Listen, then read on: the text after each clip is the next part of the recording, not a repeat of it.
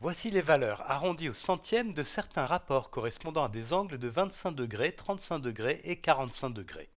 Donc ce sont en fait des rapports qui donnent des relations entre les longueurs des côtés d'un triangle rectangle et les angles de ce triangle. Alors on va regarder un petit peu plus précisément euh, ces rapports. Ici on nous dit que si on calcule la longueur du côté adjacent à un angle divisé par la longueur de l'hypoténuse, eh bien, si l'angle est de 25 degrés, on obtient 0,95. Ce rapport-là sera égal à 0,91, pardon. Et ça sera égal à 0,82 si l'angle mesure 35 degrés. Et puis 0,71 si l'angle mesure 45 degrés. Voilà, ensuite on a deux autres euh, rapports ici, euh, avec leurs valeurs respectives selon les mesures des angles. Alors, à l'aide de ce tableau, donnez une valeur approchée de la mesure de l'angle D dans le triangle ci-contre. Donc le triangle ci-contre, il est ici. C'est un triangle rectangle et on connaît la mesure de deux côtés. Le côté EF mesure 3,4 et le côté ED mesure 8. Et ce qu'on nous demande ici, c'est de déterminer la mesure de l'angle D dans ce triangle. Donc l'angle D, c'est l'angle ici dans le sommet D, c'est cet angle-là.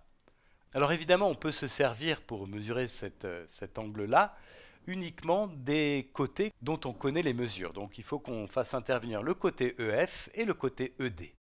Alors le côté ED, c'est assez facile, c'est le côté opposé à l'angle droit, donc c'est l'hypoténuse. Hein. Ce côté-là, ça, c'est l'hypoténuse. L'hypoténuse, c'est le plus long côté du triangle. Et puis le côté EF qui est ici, je vais le faire en vert, ce côté-là, eh bien il faut arriver à comprendre comment il est situé par rapport à l'angle D. Et évidemment c'est le côté opposé à l'angle D, hein, c'est le côté qui est en face de l'angle D. Euh, pour te rappeler, côté adjacent, c'est en fait une des branches de l'angle. Donc par exemple ici le côté FD, ça serait un côté adjacent à l'angle D. Donc en tout cas ici, ce côté EF, c'est le côté opposé à l'angle D. Donc si on veut arriver à mesurer l'angle D avec les rapports qui sont donnés ici, il faut qu'on trouve un rapport qui, fait intervenir le côté opposé et l'hypoténuse. Alors on va regarder un petit peu notre tableau. Ici on nous dit la longueur du côté adjacent divisé par la longueur de l'hypoténuse. Donc l'hypoténuse c'est bien, par contre le côté adjacent on ne le connaît pas, donc ça, ça ne va pas nous servir. Ensuite, le deuxième, longueur du côté opposé, ça c'est bien. Ce côté opposé, ça, c'est bien le côté EF qui est là. Divisé par la longueur de l'hypoténuse. Alors ça c'est très bien, puisque la longueur de l'hypoténuse, on la connaît, c'est 8.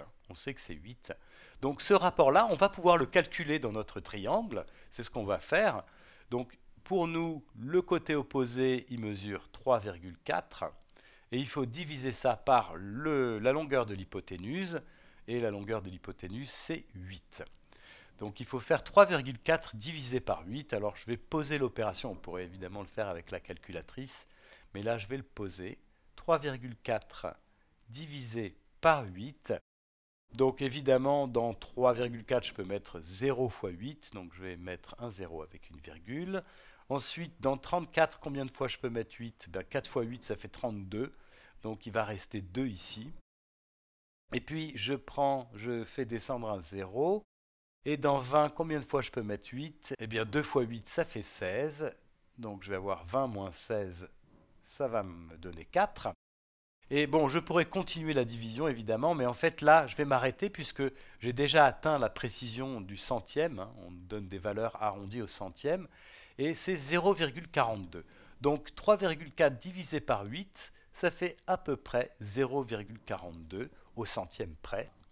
Et donc, on peut répondre puisque 0,42, c'est la valeur de ce rapport-là pour un angle de 25 degrés. Donc finalement, l'angle D qui est ici, eh bien, il mesure 25 degrés. Alors, c'est une valeur approchée, hein, évidemment, de cet angle, puisqu'on a trouvé une valeur approchée de notre rapport de longueur. Voilà, à bientôt